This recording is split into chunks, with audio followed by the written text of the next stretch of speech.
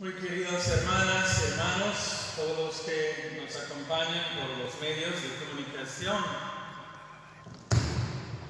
la noticia más triste de esta semana es la muerte por coronavirus de una enfermera de Roboré, apenas 44 años, madre de tres niñas, ahora huérfanas. Según los testimonios, trabajaba en la sala de emergencia, contratada por el municipio, ya que a pesar de sus muchos años de servicio, el gobierno nacional no otorgaba el ítem correspondiente. No debería caer frente al virus una mujer así joven, madre, luchadora, profesional de salud pero ya es un hecho, como cuando Cristo dio su último respiro en la cruz. Y en esto tengo que decir lo que no quisiera. No deberían estar aquí todos ustedes que han venido a la misa esta mañana. Porque simplemente no podemos garantizar, aún separándose con espacio y todo, que se va a evitar contagios. Aquí uno de nuestros camarógrafos tiene barbijo y el otro le habla en el oído con la boca ahí cerca. Nosotros aquí en el altar manejamos el tablets, los libros, todas las cosas. Y si uno de nosotros por pasar al mercado, al banco, algo así, tiene el virus, todos tenemos, incluso nuestros queridos novillos. Agradezco su presencia, pero y lo que no puedo. Así que ese problema esté por detrás. Tenemos que aceptar que estamos en una lucha que va a tomar su tiempo. La pandemia ha puesto de relieve las deficiencias del servicio de salud en el país. Hace un año, cuando no había nada de coronavirus, un artículo de El Deber reportó que la gobernación y los municipios pagan 6.000 ítems a escala departamental. Y hay similares situaciones en todo el país. Ahora las personas más expuestas al contagio son precisamente los que brindan servicios de salud. Y además de la falta de ítems, faltan los equipos de protección personal. Es urgente una mayor nacional en este tema. Y en medio de esta pandemia celebramos el Domingo de la Divina Misericordia. Dios mostró su misericordia en Cristo compasivo, que abraza la cruz y comunica el perdón. En cambio, el virus que actualmente azota el mundo no tiene misericordia sumamente oportunista. Infecta los pulmones y otras partes del cuerpo de quien puede. Y lleva la vida de quienes por un motivo u otro no pueden resistir.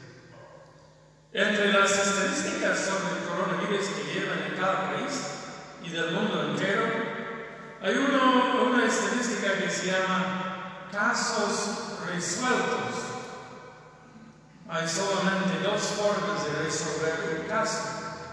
O se recupera o se muere. A nivel mundial aproximadamente la tercera parte de los casos confirmados son resueltos. De estos, 79% son recuperados y 21% fallecidos. A mí me parece que este es el índice de mortalidad. Aquí en Bolivia la cantidad de fallecidos esta mañana es 32, en cambio recuperados es 31. Con esta realidad es evidente que tenemos que seguir obedeciendo las medidas para evitar el contagio.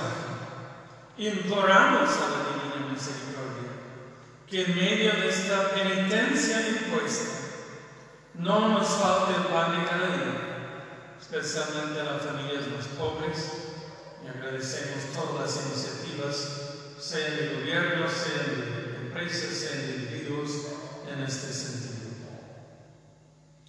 Aunque azote a la humanidad, la pandemia parece ser una bendición para el medio ambiente. En todo el planeta los niveles de contaminación en el aire, el agua, la tierra han bajado. Han reaparecido especies que se creían extintos. La naturaleza normalmente explotada y envenenada sin misericordia es ahora más saludable. Es como si el mensaje de Cristo resucitado fuese dirigida a las selvas, a los ríos, a toda la flora y fauna. Paz a ustedes. Creo que un mensaje en este signo de los tiempos es que a pesar de haber crucificado el ecosistema, podemos hacerlo resucitar. Pero tenemos que aprender a cuidar la casa y convivir con la naturaleza de una manera más saludable que hasta ahora. Trae aquí tu dedo. Aquí está mi mano. Acerca tu mano. Así invitó Jesús a Tomás para que abandone sus dudas y abrace la fe. Las marcas de los clavos y de la lanza comprueban que es realmente Jesús quien está por delante. Pero al explorar las marcas, no solamente se deja convencer de la buena nueva de la resurrección, experimenta una sanación. Normalmente cuando uno mete el dedo en la llaga, provoca un grito de dolor. Pero en el caso de Cristo resucitado, las marcas que darán testimonio por toda la eternidad de lo que el Señor sufrió a mano de los pecadores. Son también el lugar que comunica su divina misericordia. Con su invitación a explorar las marcas de su pasión, Jesús ofrece una experiencia palpable de lo que dijo al aparecer resucitado y glorioso paz esté con ustedes. El rencor, la amargura, el resentimiento son heridas no sanadas. Hay gente que las lleva en su corazón por años y años. Y alguien dedo en una de estas llagas, no solo gritan de dolor, sino acusan de racismo y discriminación y toda clase de injusticia, haciéndose víctima. Son especialmente susceptibles a las pandemias de odio y crueldad que luego se convierten en torturas, linchamientos y masacres. Que realmente padeció la mayor injusticia y el trato más despiadado, no guarda ningún rencor. Todo lo contrario, por sus heridas somos sanados. Trae aquí tu dedo, aquí están mis manos, acerca tu mano, métela en mi costado. No solamente nos invita a creer y a sanar, quiere que nosotros también seamos instrumentos de paz y misericordia. Reciban el Espíritu Santo. Los pecados serán perdonados a los que ustedes se los perdonen y serán retenidos a los que ustedes se los retengan.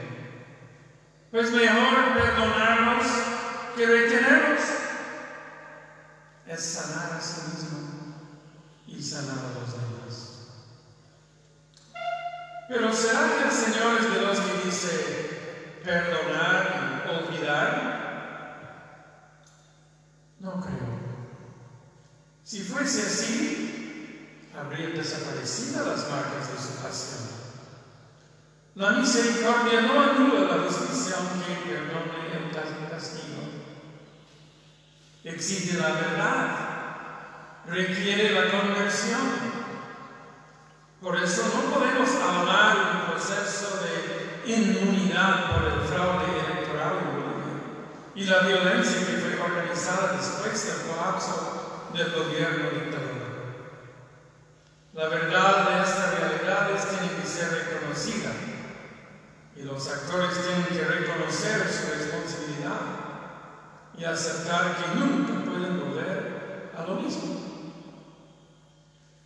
Lo mismo diríamos por lo que sucede ahora el trópico, en Chapare, con esta zona donde expulsan a la población. No se puede permitir o perdonar semejante situación que pone en peligro la salud del país y del mundo con el narcoestado que tienen ahí. Es tiempo de poner fin a semejante enfermedad de corazón y alma en nuestro país. Tiempo de contemplar la relación entre justicia y misericordia en Bolivia. No podemos hacer la vista gorda a la realidad carcelaria. No hay nada de justicia en mantener asignados a miles de personas con prisión preventiva por el simple hecho de que no tienen el dinero para encargar su defensa con todas las coimas que nuestra justicia corrupta exige. Se debe librar a los que no representan peligros mayores y utilizar el arresto domiciliario para otros, antes de que haya contagios masivos en estos ambientes. La piedra que desecharon los constructores es ahora la piedra angular. Esa piedra es Jesucristo, portador de la divina misericordia y Salvador